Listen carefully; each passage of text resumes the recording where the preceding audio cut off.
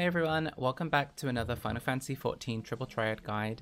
Uh, in this video we're going to be looking at open tournaments. This is a new tournament mode that was made available in patch 5.4. Um, I'll go through a little bit about how to enter them, how they work, what the rules are, what the rewards are, and I'll show you two matches that I entered with, with my uh, commentary. So let's go ahead and jump in. Okay, so firstly, to enter the tournament, you can talk to the Open Tournament official over here in Gold Saucer. Um, here's a few options. The first one is to enter the tournament. Second is to see the schedule. You can see down here, these run every two hours in uh, local Earth time. And they each one has a different rule set. So you can click to view the rules here. You can see we've got same, we've got three open. Uh, and you can also set an alarm for these, which is really nice. So you can go through in here and set an alarm.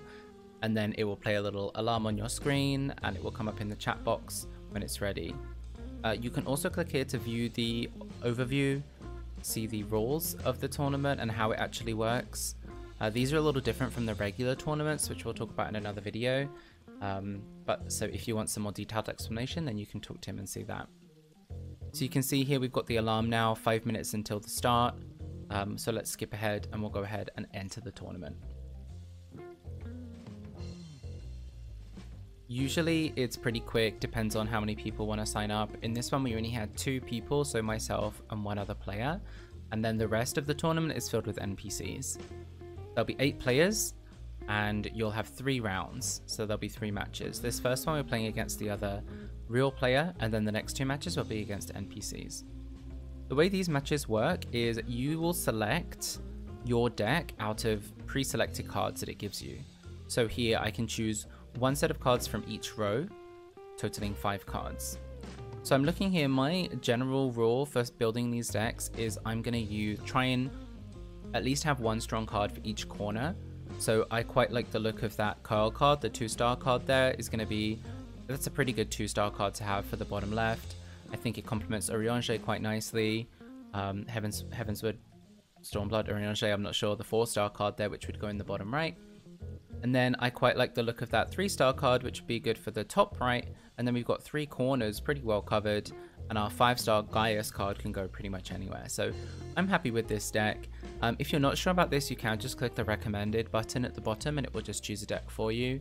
That's probably the easiest way if you're not too familiar with Triple Triad um, or how it works. And as we can see here, it gives us a quick ready check and then we jump into the first match.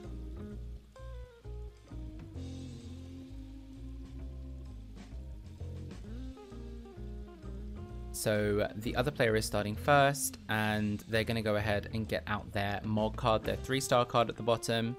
Um, so I'm thinking what I want to do here is probably try and get out my one of my lower cards first.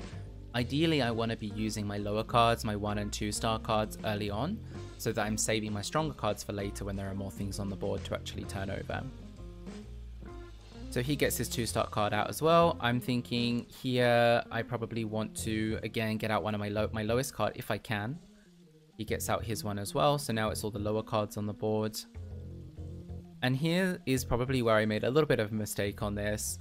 I was thinking that I wanted to turn over both those cards, the one at the bottom and the one on the right side, but I, I looked at it wrong and I realized that Gaius only turned over the um, card on the right and I left myself exposed at the top. So that was a bit of a mistake on my side. So here I thought all I could really do is try and protect that card um, and get away with the draw. And so luckily we did get away with the draw. The draw is not the worst thing. We get You get one point for a draw, but you get zero captures. Um, so if I can still do well in the following two matches, then there's a still a good chance I can win the tournament, even though we only got a draw here.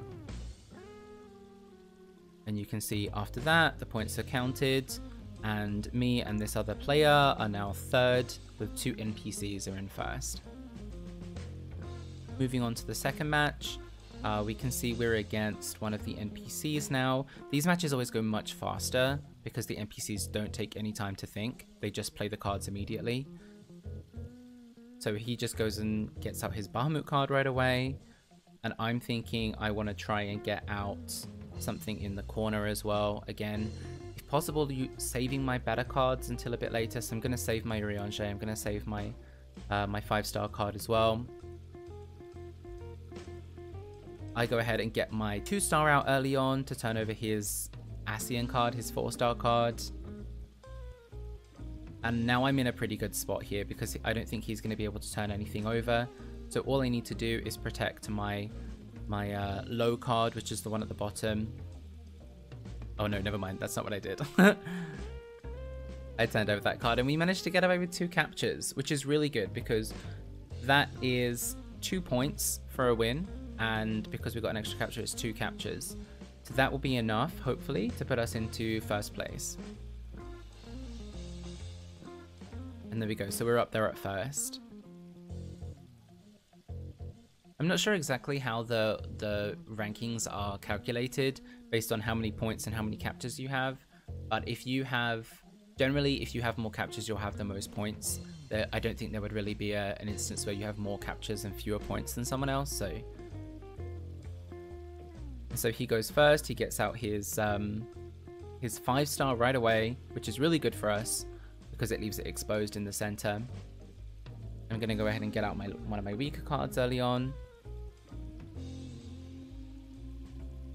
I think I, yeah, I changed my mind here. I wanted to go back and get out the weakest card I could, which is good. And then he uses his four star. I've noticed a pattern. They don't always do this, but the NPCs will sometimes just go down. They'll just play their five star and then their four and then their three. So you can kind of predict what's going to come next a little bit you know that it's not going to be too strong. So I know his last card is going to be really weak. It's going to be a one star. He's not going to be able to turn anything over with that. And so we get away with another win. Um, one more capture. And this is enough, enough, I believe, to put us into the lead. So after the points are calculated, we're at the top there with five points and three captures.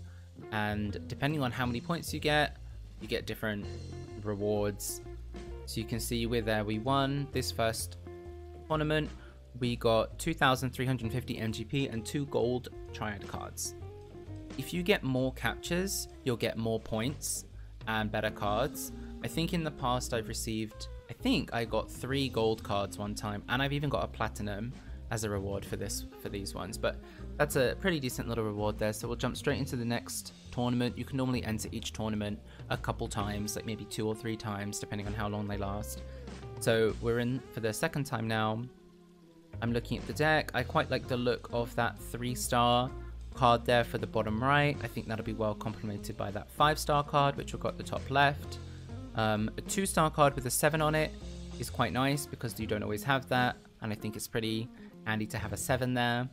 So I'm thinking what will complement it pretty well would be ideally something to have at the at the top right or bottom left. It look we're looking quite weak on the top, so I think that four star card with the seven on top be pretty handy. So I'm thinking this set will be good. We don't have a, a oh no we do have an A. We have Zurvan with an A on it. We've got Zurvan, we've got Vega, we've got Chocobo, Shinryu, and Providence Provenance Watcher, sorry. And this time we've got three players, so myself plus two other actual real players, and then five NPCs. So it's him going first, which I'm always kind of glad about. I usually prefer it when they go first because it means you can often save your, like, you don't have to play your weakest card. You only have to play four cards if they're going first, so you can kind of, you don't have to use your weakest one. And as I said, it always takes a long time. They choose to go for kind of what I think is a bit of a risky play. They put their weakest card in the middle there just to sort of see what will happen. It's a good way to get rid of your weakest card right off the bat and save your stronger ones, because you know if they turn it over, you're going to be able to turn it back. So I go ahead and get out my one star one as well, get my Chocobo out. There's plenty of different things we could do here. You know, I think it, it makes sense to try and capture the cards rather than to put something strong in the corner at this point. I think you've got to play a little bit, a little bit aggressively if you can. So you've got to try and take some cards and leave yourself exposed, even though you know you're leaving yourself exposed on those sides. So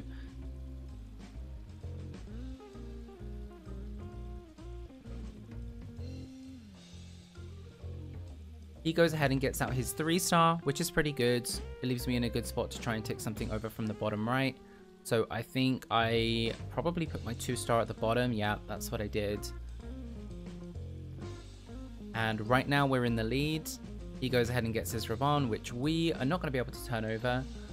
And I think I went and put my... Yeah, that's what I did. I put my 3 star at the top there, which is pretty good. We have an 8. But he still... I still have my 4 and 5 star cards left. He's used his 4 star one there. He's already used his 5 star. Unfortunately, Hades doesn't really do... Oh, sorry. Uh, Zurvan doesn't really do anything here. We can't turn anything over with it. All I can do is try and protect the Chocobo at the bottom. So I think I go ahead and put my 4 star at the bottom because it has a higher chance of being able to defend anything. And I think he just goes ahead and puts, what's he got left? He's got a two star left, so he can't take anything. And then we manage to get away with a draw again. We can see now that one of the other players has beaten their NPC, so probably they will be in the lead and we'll be around third. I think, yep, we're third, along with the player we played against and then we'll jump into the next match against Wira. Wira, Wira Green Hands. Um, so I mentioned before that the NPCs have patterns. They can just play, they can just start with their strongest card and just work down the list, but they don't always do that. So the nice thing here with the three open is you can kind of, if you can force them to play their stronger cards early on, then you can see what they're going to do and it gives you quite a big advantage. So here I'm thinking I'm going to try and get out maybe one of my slightly weaker cards. I go for my 3 star for the bottom because I know that his Alphinaud and Alisaie is not going to be able to take it over. And here we see he is gone straight for his 4 star and then his 5 star. There's nothing really we can do. I can't really put anything to take anything over at this point. I could put my Zurvan at the bottom right and take over that, but then it leaves it exposed anything. And I've only got my my Chocobo and my uh, my 4 star left to take it back. So I could put Zurvan at the bottom here, overtake his 5 star. He'll put something at the bottom, which is, which is what I do. And then this was a bit uh, surprising. The other player, instead of taking over my Zurvan, they put something at the top there. So I'm going to go ahead and try and capitalize on that I think I put my chocobo at the top. Yeah, there we go.